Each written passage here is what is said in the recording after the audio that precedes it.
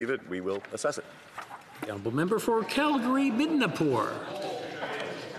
Mr. Speaker, we know that this Prime Minister loves to kill projects in Western Canada. The Alaska to Alberta Railway Project is a $17 billion private sector initiative that will connect Western Canadian resources to international markets. But the Prime Minister has already hinted that he will use his old friend Bill C 69 to kill this project for the sake of the West, for the sake of the Yukon and Northwest Territories, for the sake of all Canadians. Will the Prime Minister put aside his own self selfish ideology and say yes to this project.